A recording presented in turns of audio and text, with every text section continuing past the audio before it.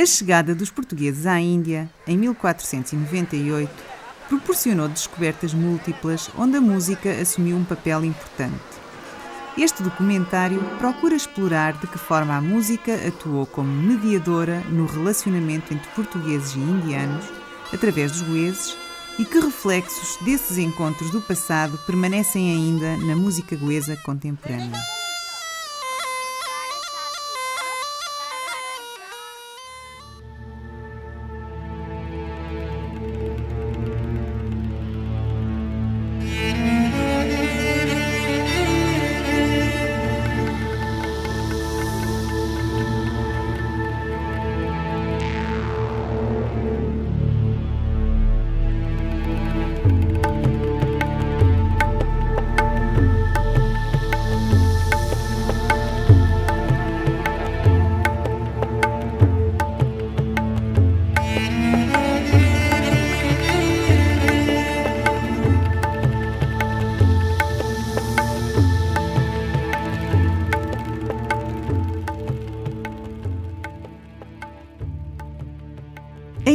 Ocupa um lugar privilegiado no imaginário coletivo europeu como uma lendária e longínqua terra de quase mágica prosperidade, diversidade e exotismo. Esta dimensão de fantasia aguçou a cobiça do Ocidente, testemunhada por alguns textos clássicos. A Bíblia, por exemplo, relata, em alguns trechos, o acentuado tráfego comercial indo-babilónico no tempo de Moisés, 15 séculos antes de Cristo. A costa do Malabar, cujo nome advém da existência dos grandes montes Ghats que dividem o Índico do Concão, foi a entrada privilegiada na Índia para a grande maioria dos viajantes não indianos, transformando a região num dos mais importantes entrepostos do comércio do Oriente. A principal rota do comércio da Índia com a Europa encontrava-se quase totalmente controlada pelos árabes e fazia-se através da navegação das costas da Pérsia e da Arábia até Aden, seguindo depois pelo Mar Vermelho até ao Egito. Aqui, as mercadorias eram frequentemente transportadas para os portos de Alexandria, Tiro e Sidon e também para os mais importantes portos europeus como Veneza ou Génova.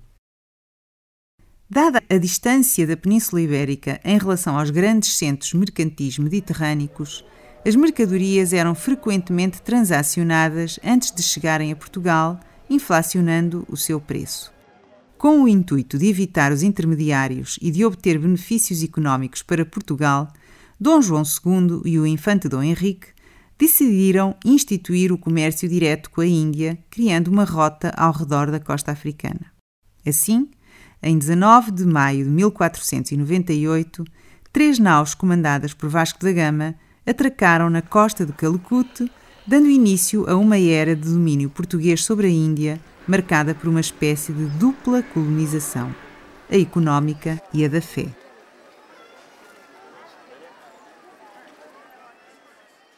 Os mogóis, de facção islâmica, eram à data os detentores do comércio na costa do Malabar e, por princípio religioso, inimigos históricos dos cristãos. Uma vez ponderada a relação de forças entre as vantagens e desvantagens do confronto entre a frágil e pouca numerosa representação portuguesa e o poder dos grão-mogóis, os portugueses optaram por se instalar em Goa. Ainda assim, a sua presença deu origem a ferozes conflitos com os árabes e iniciou um processo de vai e vem da soberania entre portugueses e mogóis que só viria a ficar definitivamente resolvido a favor dos portugueses com a reconquista final de Goa a 25 de novembro de 1510, dia de Santa Catarina, sob o comando de Afonso de Albuquerque.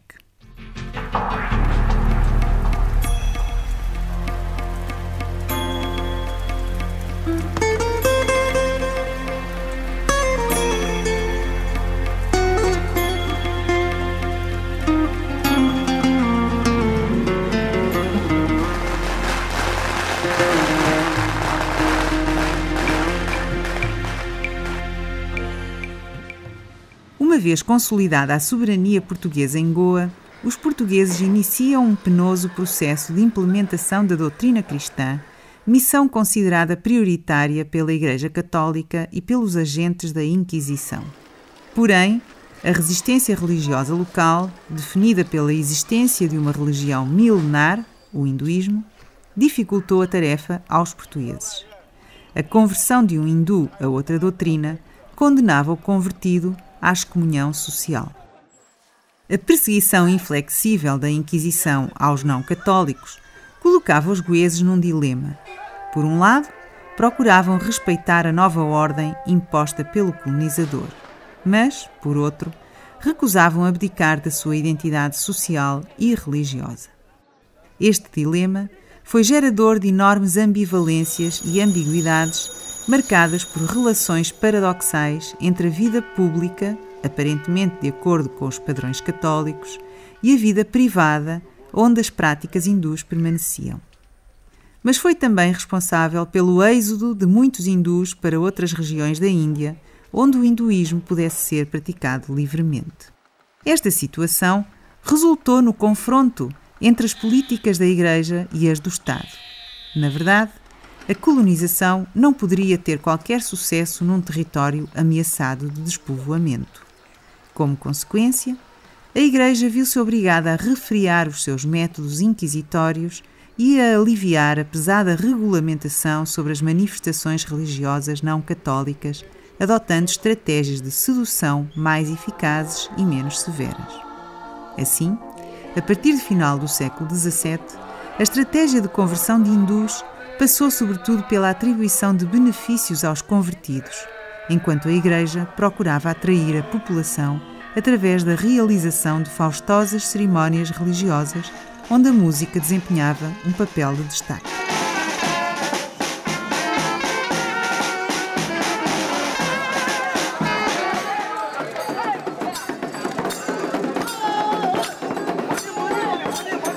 Presença da música na vida dos indianos acompanhava praticamente todos os momentos festivos do cotidiano e, sobretudo, os rituais religiosos.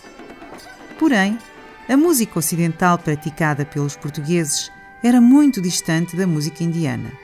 Baseada na harmonia e de raiz polifónica, a música dos portugueses soava a exotismo aos ouvidos indianos. Tal como a música praticada pelos indianos, monódica e profundamente envolta em ressonâncias harmónicas, provocava aos portugueses uma espécie de estranhamento encantatório. No entanto, e de forma a cumprir os intentos de colonização também pela fé, que obrigavam à substituição do hinduísmo pelo catolicismo, os portugueses procuraram erradicar todos os instrumentos que propiciassem a prática de outras religiões. A música foi um deles tendo em conta a visibilidade que a música produz em situações de performance e o lugar indissociável que ocupa no ritual religioso, a tentativa de erradicação do hinduísmo passou também pela tentativa de substituição da música indostânica pela música ocidental. Este processo, apenas parcialmente bem sucedido, resultou no que podemos designar pela política dos três P's: proibição, promoção e permissão.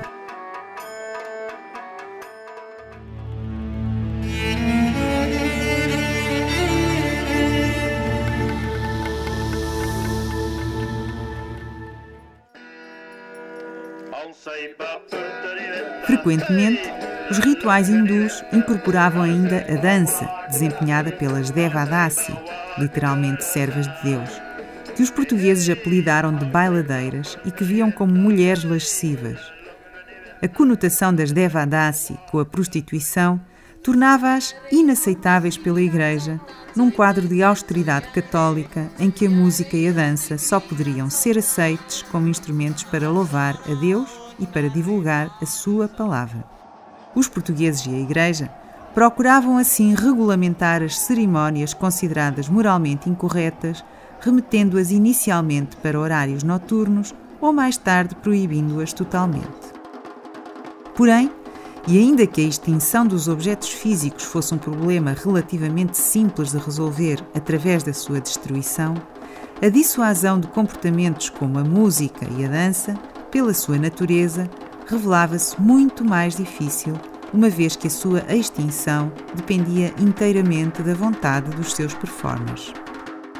Assim, a política de proibições multiplicou-se As mulheres foram proibidas de dançar, os homens proibidos de se travestir de mulheres e, finalmente, as mulheres foram totalmente proibidas de aprender música. Depois de muitos esforços, os concílios provinciais dos séculos XVI e XVII acabaram proibindo apenas as práticas consideradas mais graves. No entanto, a presença da música e da dança foi até certo ponto tolerada pela Igreja, com o intuito de conquistar um maior número de goeses, e algumas manifestações hindus foram justificadas como sintomas de uma conversão ainda demasiado jovem. Pela análise da regulamentação da época, facilmente se constata que a música assumiu um papel central no processo de colonização, estando na origem de desacordos entre a Igreja e o Estado e sendo sobre ela que incidia a principal legislação sobre as manifestações religiosas em Goa. A música funcionou como o indicador que regulava o enquadramento dos goeses dentro do estabelecido pelos padrões do poder cristão vigente, ditando a sua aceitação ou condenação.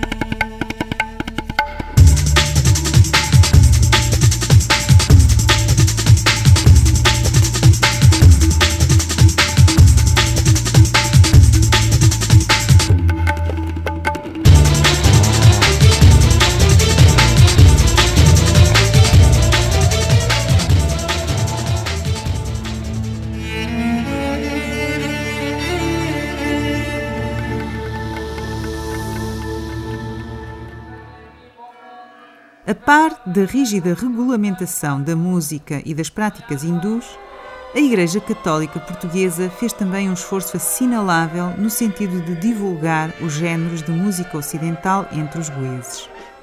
Esta divulgação tinha como objetivo veicular de forma mais eficaz a doutrina cristã, facilitando a sua memorização por parte dos recém-convertidos que não falavam português ou latim a música foi se tornando numa importante forma de atração dos goeses hindus pela Igreja Católica, que pretendia sensibilizá-los para a causa cristã através do que considerava ser a beleza da música ocidental, esperando que esta pudesse representar um sinal de superioridade religiosa junto dos hindus, cujas crenças eram tidas como frágeis, ainda que tal assunção se revelasse muitas vezes ingênua. Paralelamente, a Igreja promoveu outra estratégia da filiação dos goeses à música e à doutrina cristã através da introdução da música como processo formativo. Em 1545, foram criadas as escolas paroquiais, obrigatórias para todos os rapazes até aos 14 anos, onde se ofereciam aulas de solfejo, de canto e de violino, um instrumento que viria a adquirir um protagonismo singular no quadro da cultura de Goa e da própria Índia.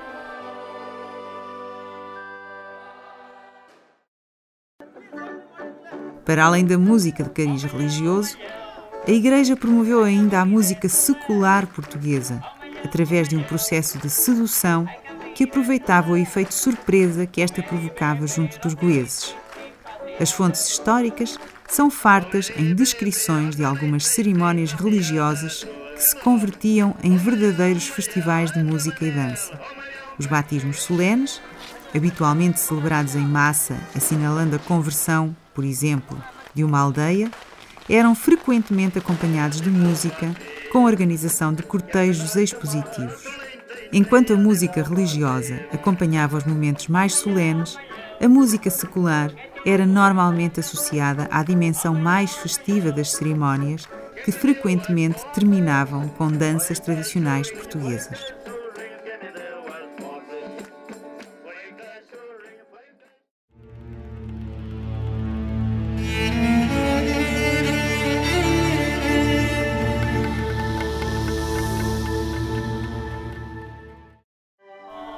Modo, a Igreja reconheceu, de forma inteligente, a importância da música na sua dimensão emocional. Por um lado, a música era utilizada para seduzir os goeses para a religião católica como um elemento representativo, da sua beleza e grandiosidade.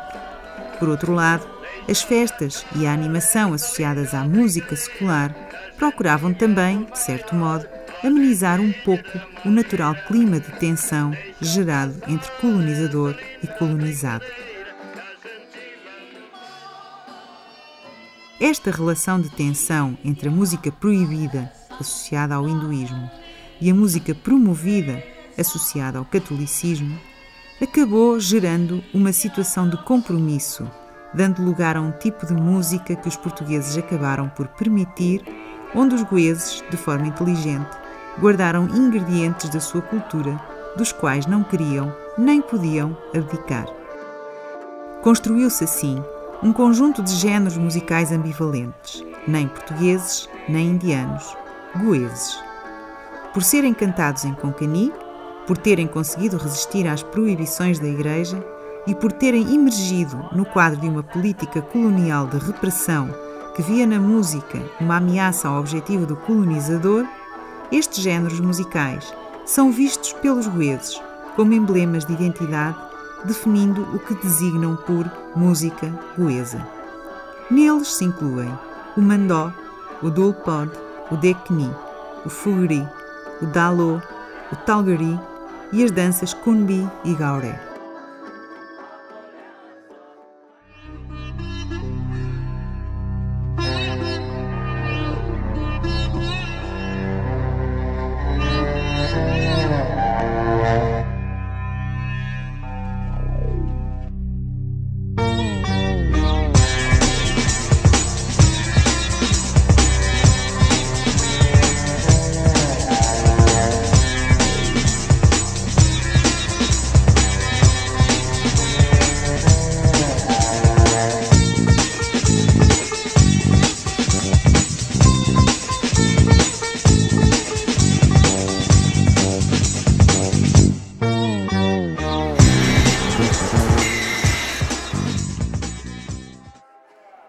História da colonização portuguesa em Goa, a música ocupou um lugar central no processo de mediação da conversão ao catolicismo. Sobre ela e sobre os comportamentos a ela associados, como a dança, recaiu sempre uma legislação rigorosa com vista a regulamentar as manifestações associadas ao hinduísmo. Para ambos os lados, portugueses e goeses, a música foi vista como um importante fator de identidade Enquanto a Igreja usava a música ocidental para divulgar a doutrina e atrair os goeses, estes, por seu turno, foram construindo a sua música, definindo-a como um espelho da alma goesa e uma importante arma de crítica social dificilmente combatível pelo colonizador.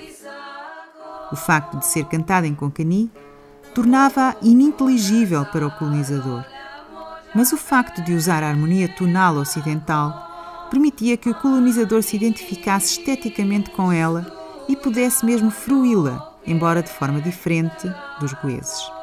Como seria de esperar, num mundo que se globalizou, hoje em dia podemos ouvir em Goa as mais variadas sonoridades, mas algures neste complexo mosaico musical, os sinais da história são ainda visíveis e contam-nos, através dos sons, como os goeses souberam resistir ao colonizador guardando na música a sua diferença e a sua boanidade.